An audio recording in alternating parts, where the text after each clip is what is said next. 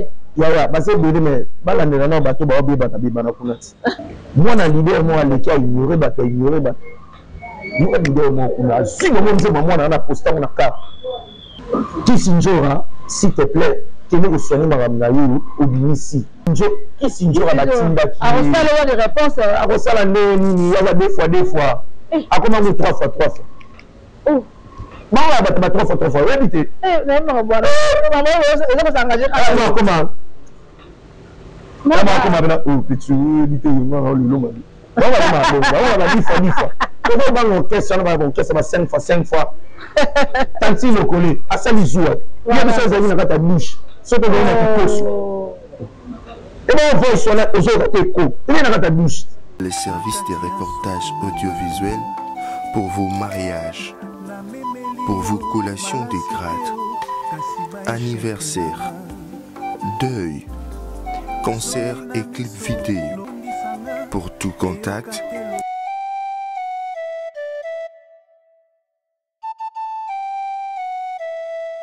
Voilà, bonjour, euh, fidèle tout ya Jumel Net News, euh, balobi Jumel Net News, euh, chaîne ya actualité, chaîne ya kitoko maputa oyo wapi, bo s'abonner awa na Jumel Net News, ni par ailleurs, ma kitoko ya toujours awa. Merci beaucoup à Demero qui dit au revoir, frère chéri depuis Paris. Chez Sali esika ezuami yo pona nini te na Francine kaba mingi mingi na JMK voilà epesa zuwa te mais bazanga kua Jean Marie kaya depuis Paris mua ya yo yango wana kua Nadine lessi azali ye moko te na ndoki na ye azali na grand artiste toko panza nteke toko lobela moko se muninga babengi ye na kombo ya Yannick Ilona asi lelo ti boyebi nga abiangi ye mingi mingi Suka na mwana voila awa to ko lobela nde actualite ba bi internet eningani place bino moko boyebaka boye ko loba na internet moko se ya moninga mimi ko lobama kaka awa quoi merci beaucoup à mon boss jumelle pona opportunite opesaka toujours petite na yo pona ko panza toujours nteke malamu boye mimi kaka yo papa na nga jumelle mes condoleances esika e zwami yo voila merci beaucoup à mon real de de meme kano ko fungola na plateau ba yimboka mona mi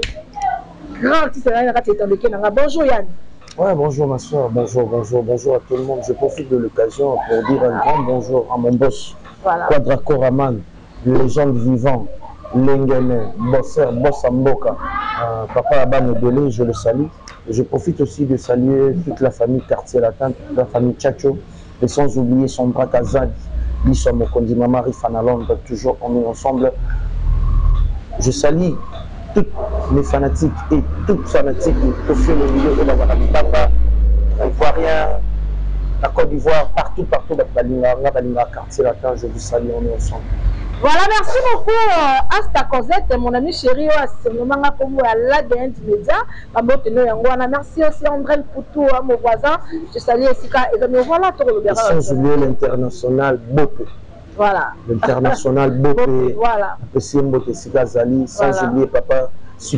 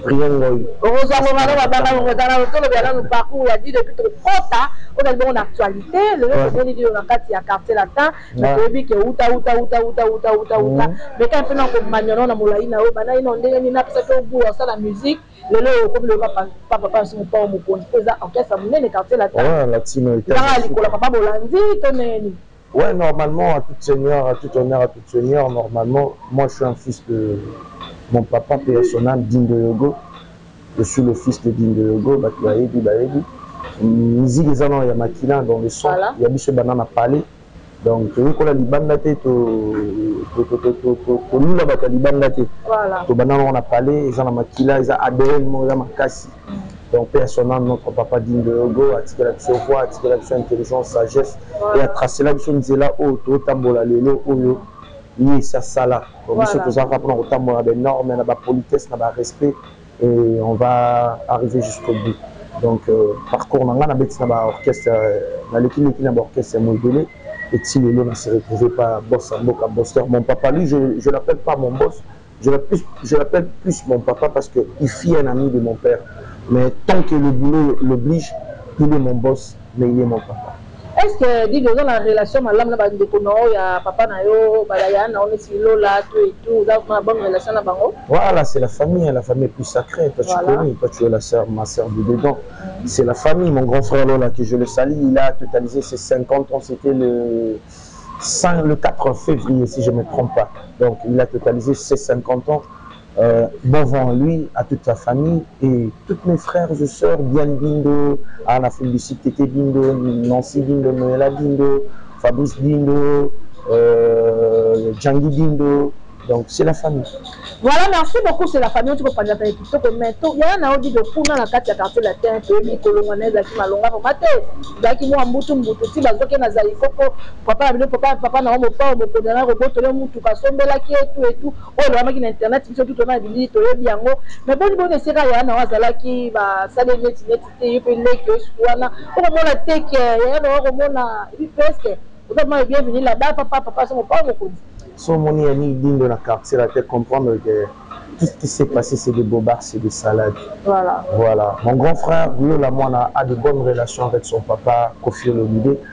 Parce que recemment ici Koffi Olomide a fait un tour à, à l'Etats-Unis, c'est Lola Mwana qui, qui etait là, accompagner son papa na ba concerts tout babetaki. Voilà. Wana oyo eleka wana ya bato ya mokili babandaki koloba Lola n'a pas eu une voiture donc donc quartier latin qu'il a vendu pour acheter une maison non même pas.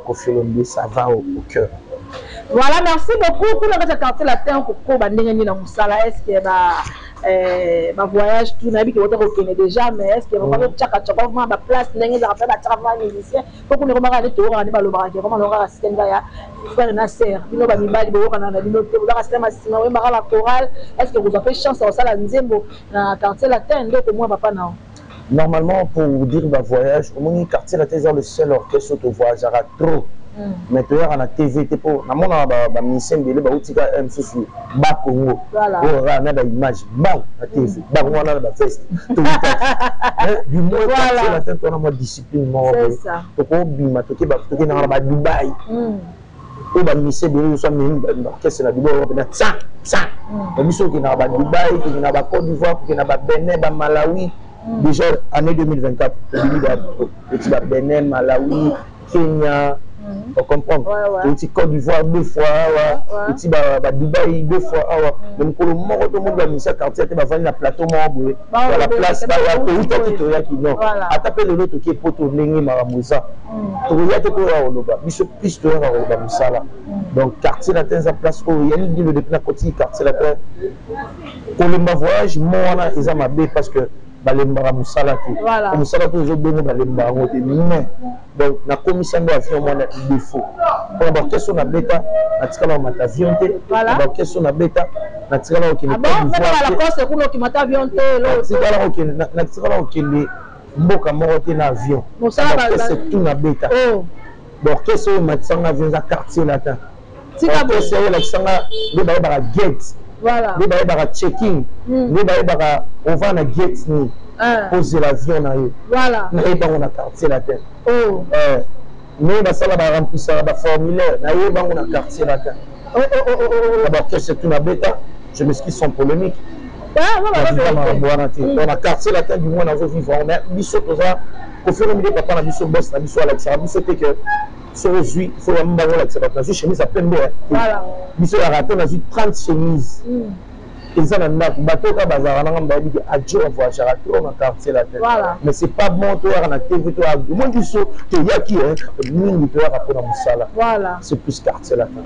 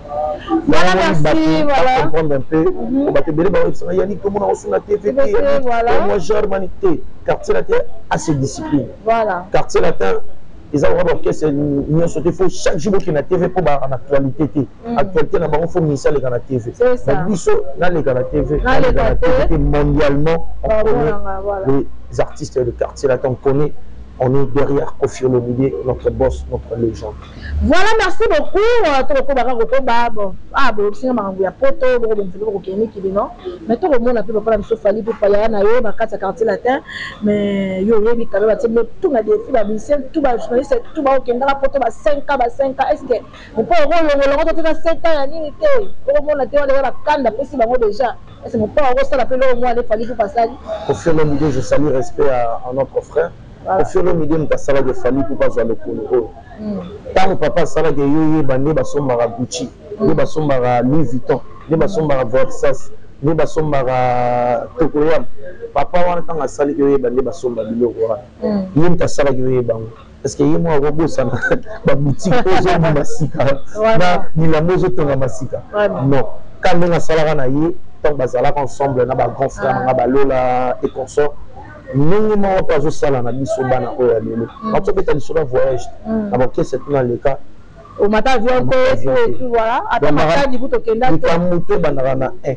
Voilà. Esi ekomaka na place to lukaka ba chiffres minene. Voilà voilà. Quartier latin dejà tangu omata dejà ba voyage ozo lemba ba fric. Europe biso quartier latin mabe na biso nde toyaka te sikoyo na projet toya omoni kala mingi te boko santi te biso olingaka mwa tsant te. Oza mimi amemi ba eh.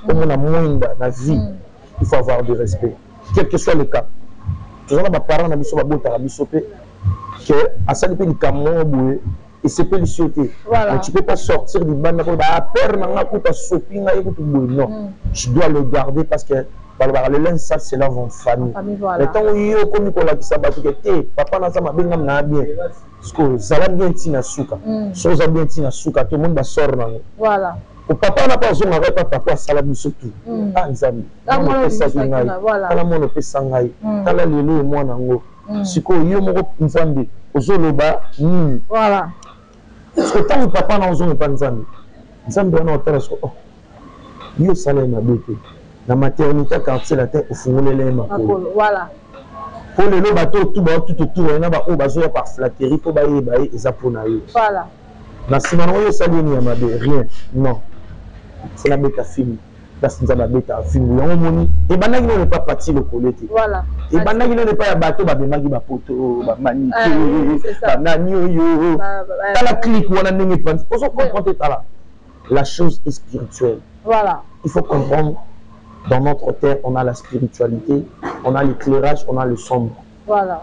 Yo moko ozo benda sombre na vie nozo yeba te. Mama mususu to tala yango na misu ka boye te. T'as fait trois fêtes mais trois tes trois fêtes t'as fait c'est passé comme de l'eau. Mm. Osali trois fêtes à minene mais leki.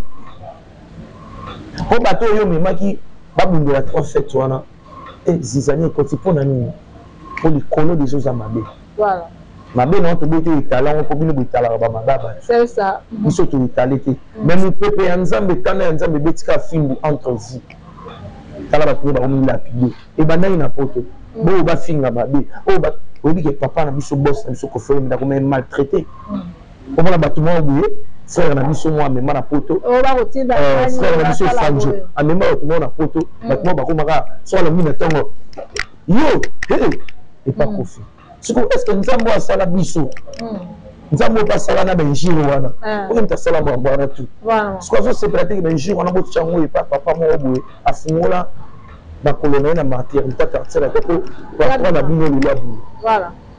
Wana tout bobosani sikoyo nzambe wana aza juste azongi akotika oyebi ntango bato bamai kotonga tour de babel eloko wana molai ekota ntina na lola oyebi nzambe asani aconfonda bango atina kaka mangala oyo andolo ba français oyo kuna bandolo baminoko mo me bango tu bachange minoko bango mobebinda koyokana kisini eza makambo nzambe asala ifo otangaka bible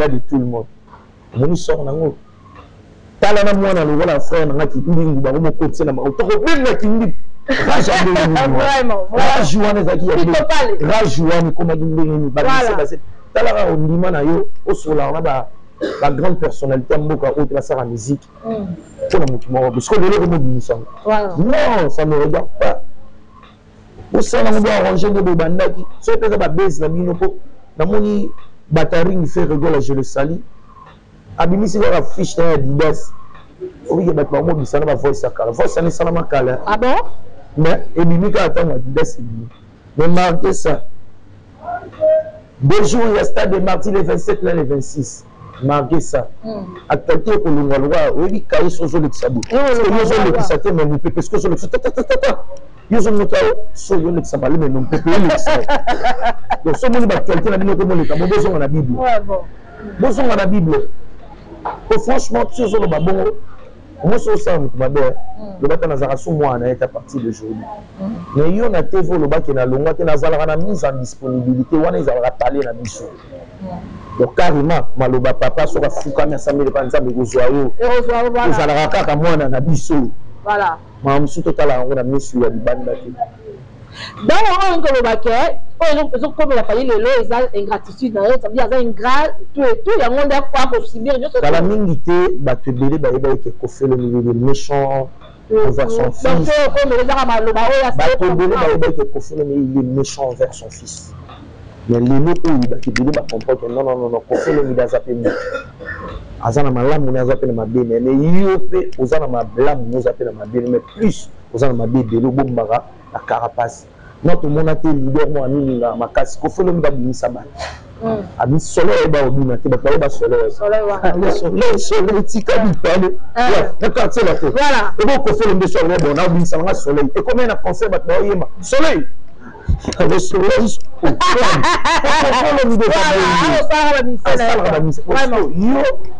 kote chan osala bamise te kote ofula bato danse ozosala bango te kote ata tosala émission moko mpo quartier lete kala kofadaki bofandi bo mise efali mpo par le transport boyebi tokobomba te mpo ozala bainternet il faisait ça pourquoi voilà mm. et toi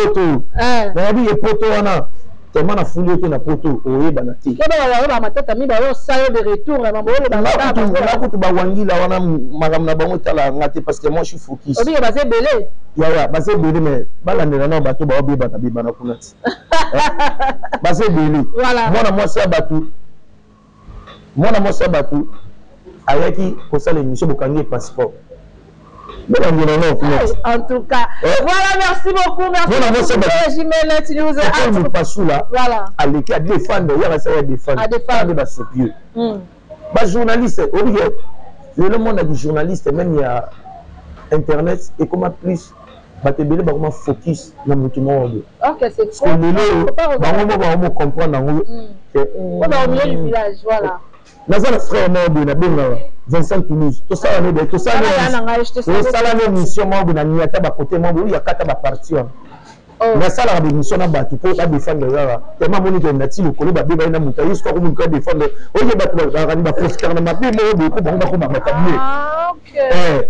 sikoyo na obenge tosala emission alingi te mpo ayebi ke yaniki akonyata babombe mm. osoki anyati babombe ye kuna so amoni bango balingaka nde so abengeka abenge yambi motu wana mingi onyemba mpe babengaka ye ah mingi onyembe nini balekisela ye ku dj ngo na plateau Mm. Eh, DJ awa pena abi te papa Lupasula avant DJ. Papa mm. Lupasula abi yo yo sepani te pozo yamba bato basingaka.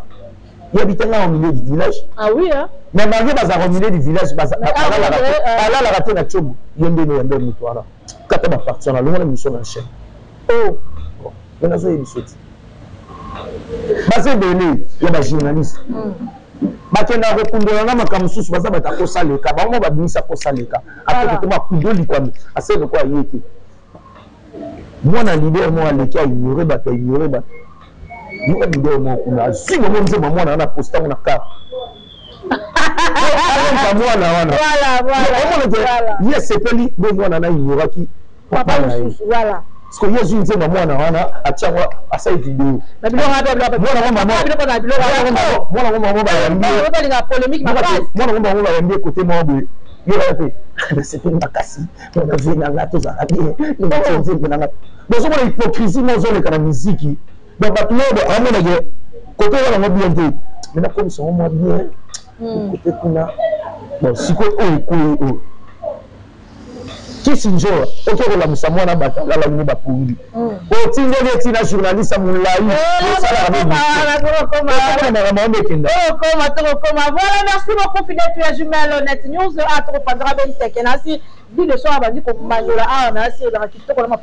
to wapi voilà merci beaucoup to koloba na ba actualité kande kokoba pe kokoba kaka actualité moko si ya moninga voilà ma musu ebimi susu aya mwana suka na esi internet eyindi lisusu mwana suka na yebiso mwana bato na age ya 11 ans na BCBG akomi susu na zina papa papa mopa papa na biso jibe piana mwana ye babotoli ye mwana nayebi te bino ba musicien makambo oza mingi pa mopao okomi susu ba musicien mosusu ndenge nini lisusu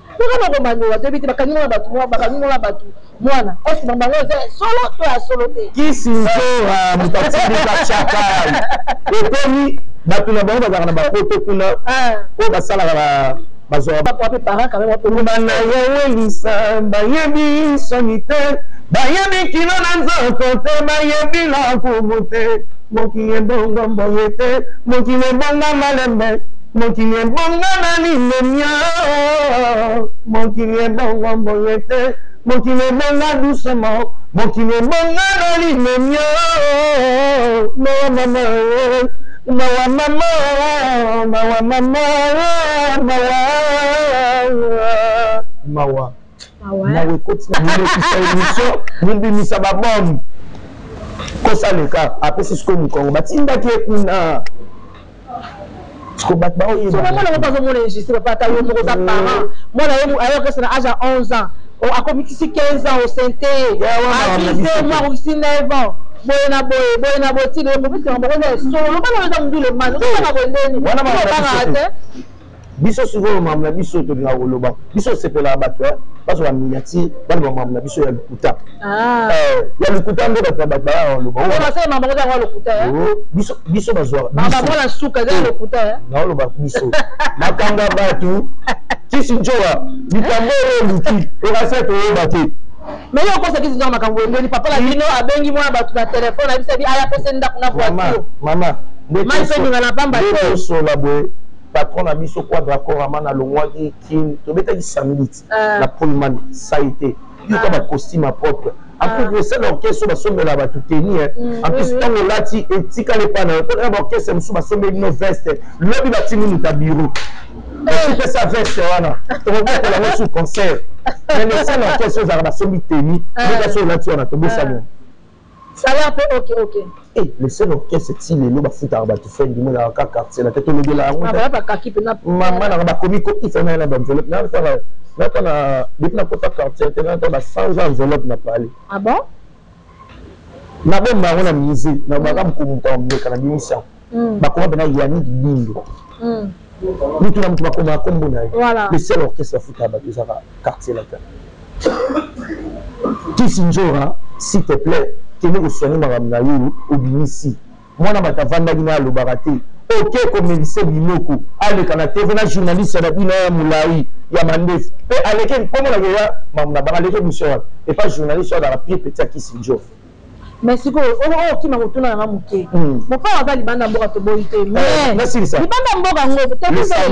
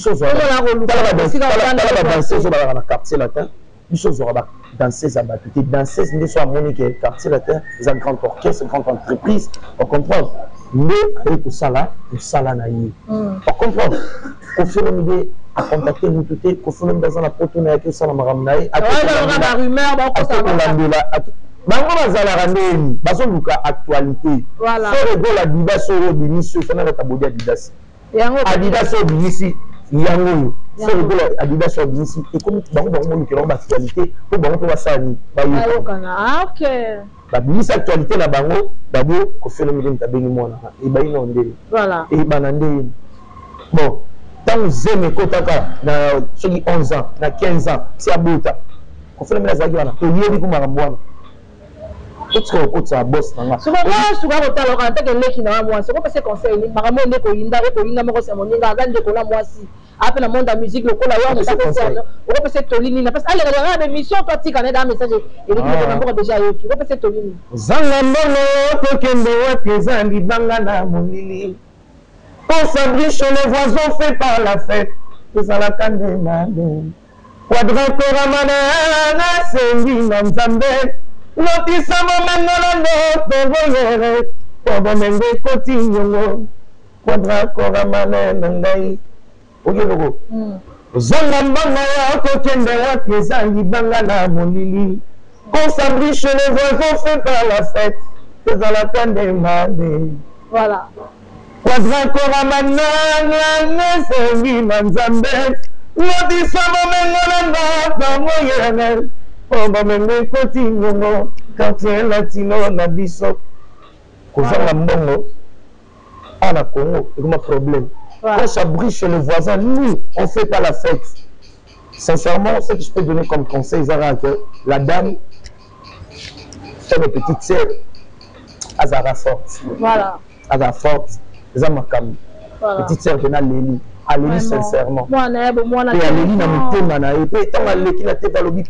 so tali santa pechuama aboti mwana bo mwana na 15 abotele mwana nebo deja so tali santa pechuama mwana mwana pecha aoli ya bien te aola la bien te a souffrir mentalement ba bo récupérer ko te biso ah yaya ye moko alobaki abi natika miziki te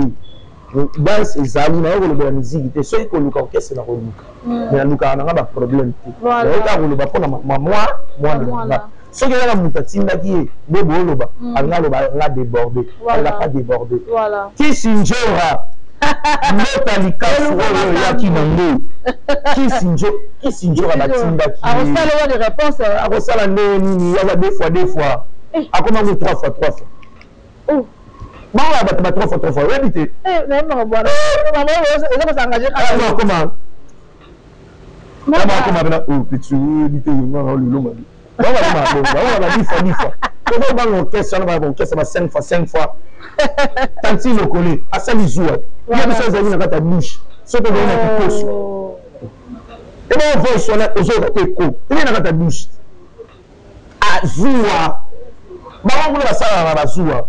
Ah bon? Oh. Orchestre ata sifwa sifwa. Voilà, merci beaucoup à Gloire Mundemba, mon concert. Je te salue esika ezwami yo malgré en retard mais ba mbote no yango wana mingi mingi na bayi mboka. Bo s'abonner ka awa na Jume Net News na ko soutenir émission na ngai mingi ko loba ezali Messi Mangonga. Mais na yembi grand artiste na asimo ko mona bino ba Bunga ako pancha nteke ya malamu malamu mais nana poso beta lisusu mua kapela mua kitoko kitoko kitoko kitoko mais nga molo osenga ata na kati ya quartier latin wana mais alingaka mingi mingi diva soki obeteli nga diva eh bato ya mokili bayinaka yo osala nga vraiment grande dame merci obiye tellement tookina maman eza ba désespoir voilà ah désespoir elingi makasi Na console ata ndeko na biso ya mwasi. Console ka yaya a dekola mwasi. Sikoyo na yembi ye, sikoyo na yembi mama oh. Mama oh. Nga na la vie na nga mobimba ata na pesi bolingo oh.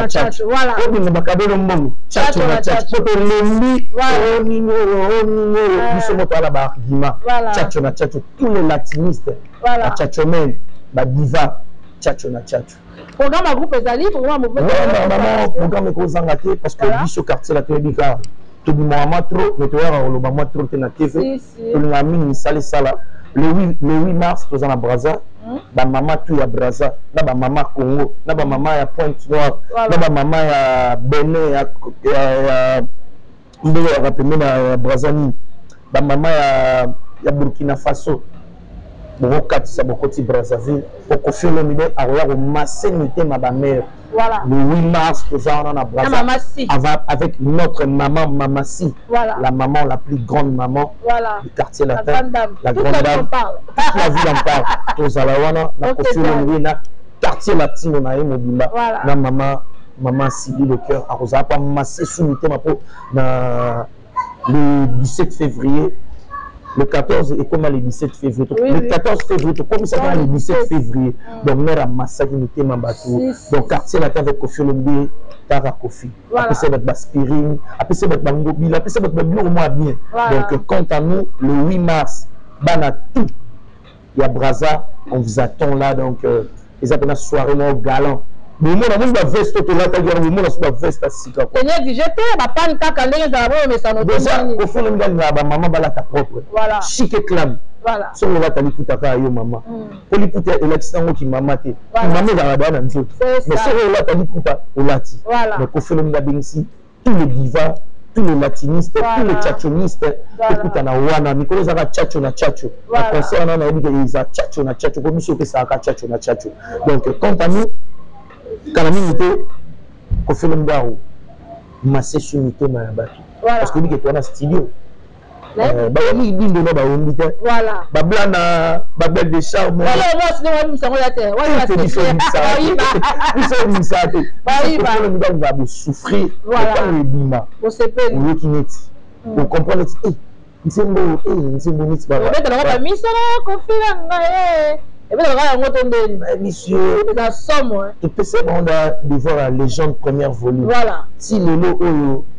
banzembo wana nayebi soki nakendaki na tokende na Côte d'Ivoire na vandi place moko namoni ba Ivoirien jour to gagnera 3-1 biso ozalaka na stade ah. jour RDC gagnera 3-1 ah. nayebi sur oh, na laisse tomber tobeta concert na Côte d'Ivoire la place de la canne parce que ba musicien to ba nokende baobeta mm.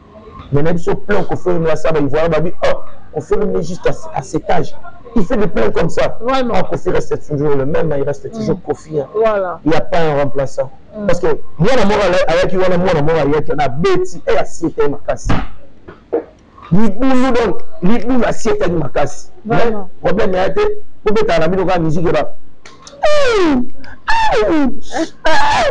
musique ya bata 3 fois 3 fois mais biso tobetaka musique elengele utaka na quartier latin babiloba iyo ete na baquartier latin kofanda ca aza nyoka te alors biso ca bote biso so ongoka papa aoloba ngai nawe washington tikanga na ntuna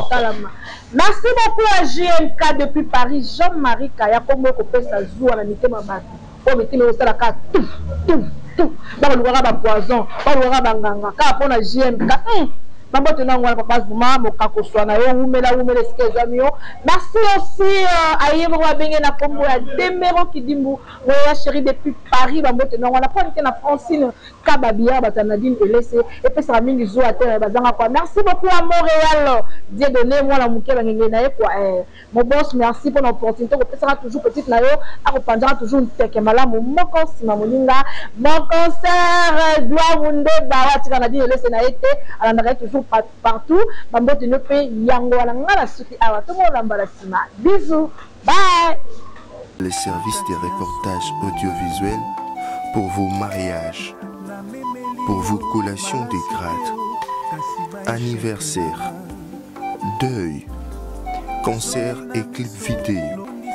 Pour tout contact,